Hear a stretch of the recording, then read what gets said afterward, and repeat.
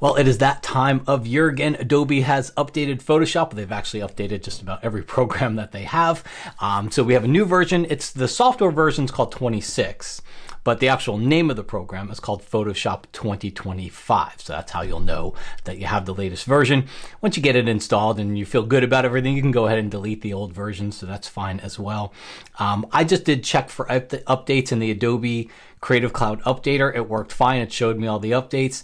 I have heard people have to restart the, the updater program or even restart their computer, but of course, all questions related to updating the software should always go to Adobe. I can only show you what's new inside of here. I can't help you get the software.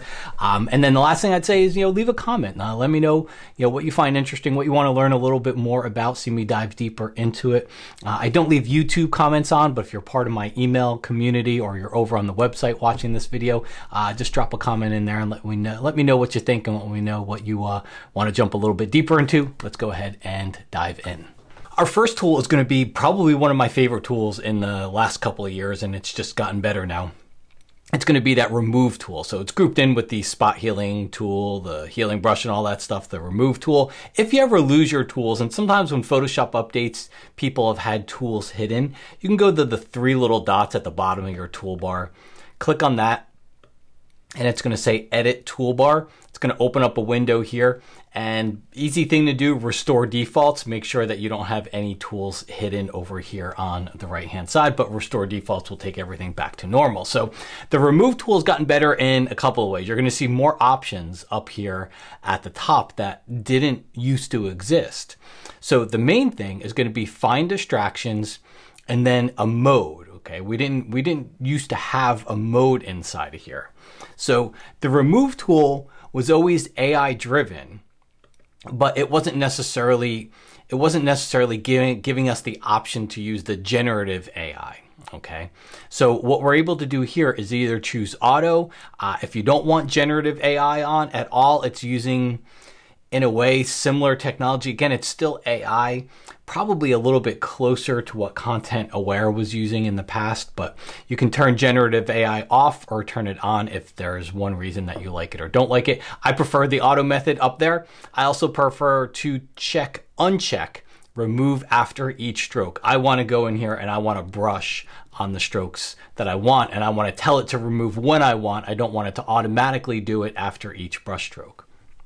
Okay, so we're gonna forget about find distractions for now. The remove tool, just like before, we use a brush, right, right and left bracket key, make it bigger or smaller. You can go brush over an area and then hit that little checkbox at the top and it will get rid of those things. And it did a good job and it's always done a good job on some of these smaller things. Here's where it's improved. Before this update, I would have to go in with the lasso tool or even use our new uh, selection brush. This isn't brand new. This is new in a recent version of Photoshop, recent update of Photoshop. But I have to go in and make a selection. So the lasso tool, the selection brush, whatever it is, they both make a selection. And I'd have to go in there and then I have to go into generative AI. I would leave it blank and hit generate. But now with the remove tool, the way it works is it's actually using generative AI. So it, it essentially, it's, it saves a step. All right, so I'm able to go in here and brush with the remove tool, the same tool that I'm used to using, brush with the remove tool. It should close the loop for you once you go in there and brush on the areas that you want.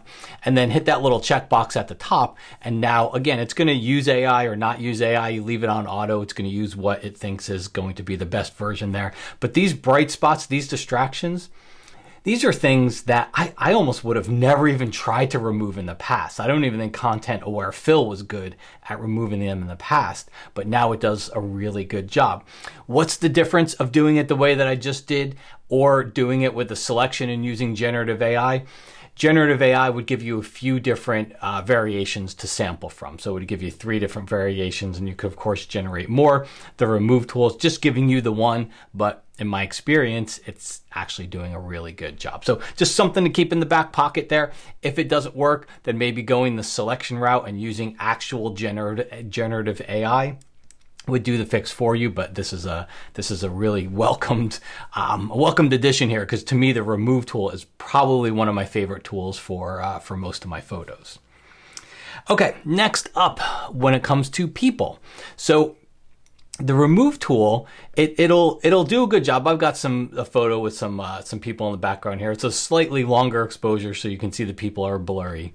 So we'll go to the remove tool click on find distractions choose people and it says editable on there because it's going to in pink show you what it's going to remove. And then when you're ready to go, uh, you can just go in here and hit that little checkbox. Or if you don't want to remove what it thinks it should, you can go into subtract mode.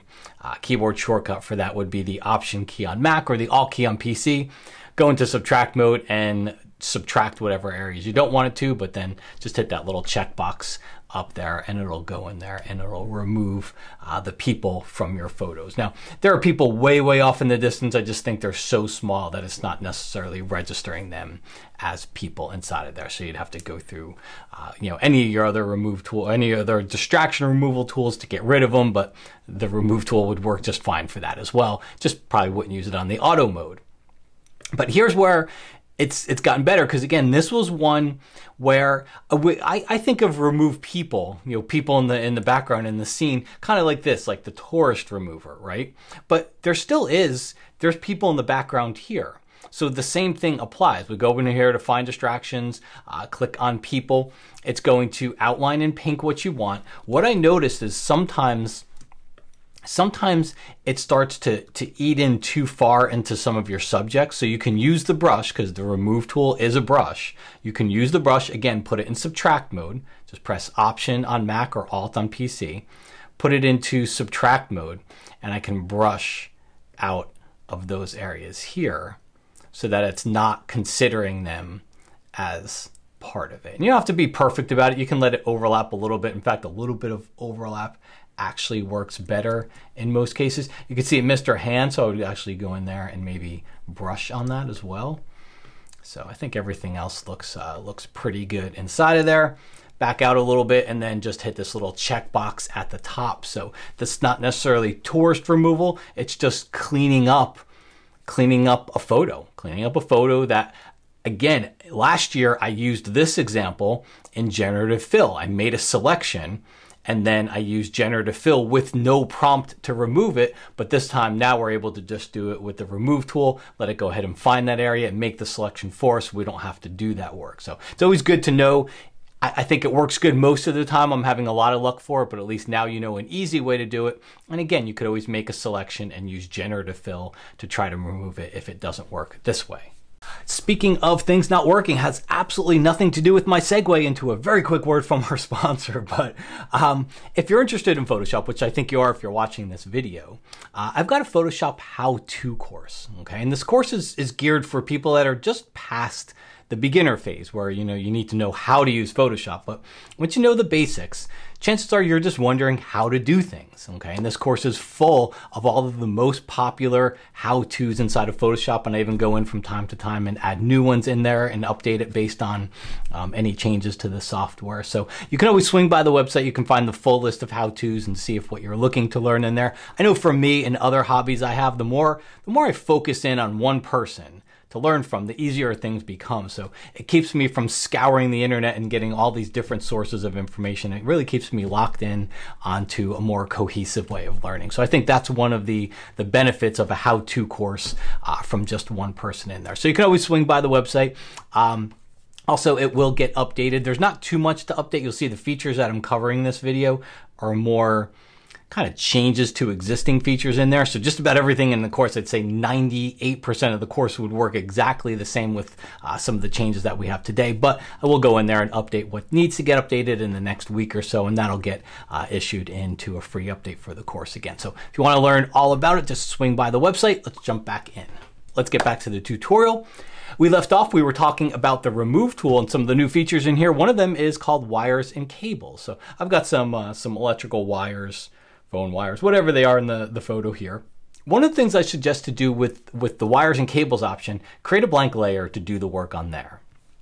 Then come up here, find distraction, wires and cables, and uh, it'll do a good job of finding those inside the photo and removing them.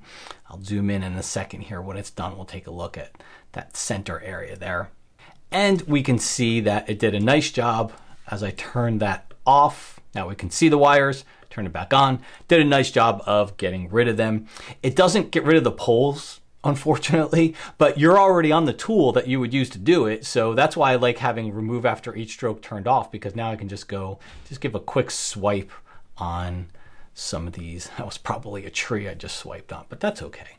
Just give a quick swipe on some of these, uh, these poles over here and then hit that checkbox so it'll go ahead and remove them. So again, you already you already got that separate blank layer selected. You've already got all the options turned on. Just follow it up with the remove tool to uh, to clean up anything that you wanted to. I couldn't resist. I had to, I downloaded a stock photo from Adobe and I just, I wanted to see what it would do on a photo with just a ridiculous amount of wires on it. In fact, let's cancel because again, it'll show you the, a good reason why you would want to uh, create a, uh, a blank layer to do this on. And again, don't forget to turn on sample all layers. If, if you make a blank layer and you do work on the blank layer on any tool and you don't have sample all layers on, it won't work. So, but you could see it, it did, it did a, a pretty good job of getting rid of all the wires. I did mention that, you know, I make that extra layer in there because sometimes you might want to go in and mask things back in because sometimes it does get a little bit overzealous in what it's trying to uh, remove from there. Next thing's going to be uh, some features. These are features that have been there, but it's it's updated. So Firefly is is the model behind generative AI inside of Photoshop. So what they've done is they've updated that model that it's using for us. So remove background, which got our little contextual taskbar here. And if you've ever lost that, just go under the window menu to uh, contextual taskbar. Remove background has been there for a while. So we've been able to go in here and remove background. Generate background has been in here for a while. So we can go in here and generate background, but now it's using that new AI model or the newest, latest AI model that we have inside of here. So I think I put um, outdoor scene with mountain backdrop, but beautiful outdoor scene with mountain backdrop. So we'll hit generate and let's see what it puts my son as he embarked off onto his prom several years ago.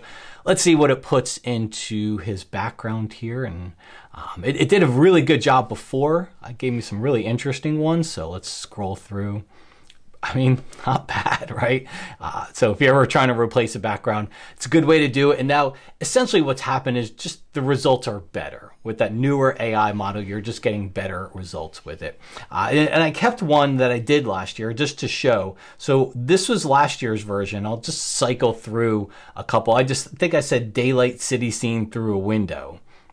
And you can see the buildings are kind of warped and crooked. Did it do a good job on some of the window panes? It's, it's got a night view inside of there. So it, it's okay.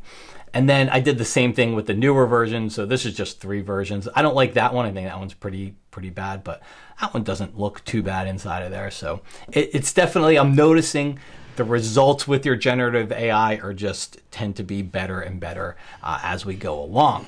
Now, the last one is going to be if we have a, so there's more raw formats that are uh, working through your denoise feature inside of Adobe Camera Raw. So when you open up a raw photo in Adobe Camera Raw, You'll see your denoise feature inside of there. It's got to be a raw photo. Well, one of the most notable ones in the new formats that are available is it does the Apple ProRAW. So if you're uh, shooting in the RAW format on your iPhone, um, Apple does a little bit of noise reduction in there for you, and it's it's not bad. But if you wanted to keep it and use it inside of Adobe Camera Raw, I definitely do think the Adobe model is going to be better. So if you're shooting in RAW on your camera, which if you don't know how to do, make sure you Google it. There's there's a couple settings that you do have to turn on to make it happen uh, then you can come in here and use that denoise feature on those raw photos.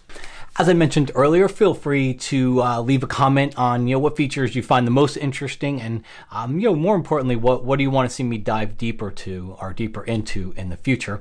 Also, if you're looking to uh, learn a little bit more, I've got another video here that's free to watch, and this one's on a feature that came out last year: custom adjustment uh, presets inside of Photoshop. So that if you're looking to learn a little bit more about that and a feature you might have missed, that's a great place to go to next.